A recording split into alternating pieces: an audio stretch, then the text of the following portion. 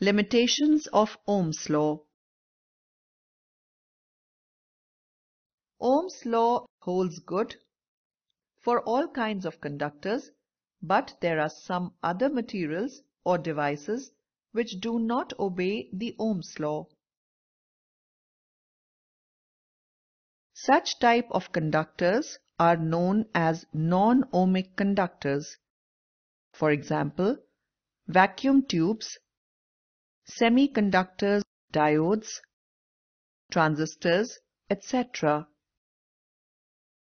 The relation V by I is equal to R is valid for both ohmic and non-ohmic conductors.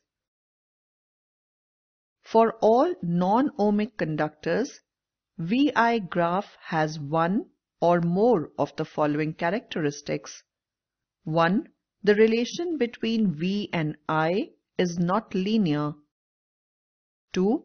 Relation between V and I depends upon the sign of V for the same absolute value of V. 3. Relation between V and I is not unique.